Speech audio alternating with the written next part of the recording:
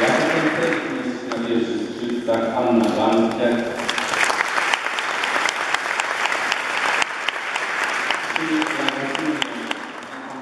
Absolutnie znakomity spędz muzyki narodowej Mirosław Krzyżynek.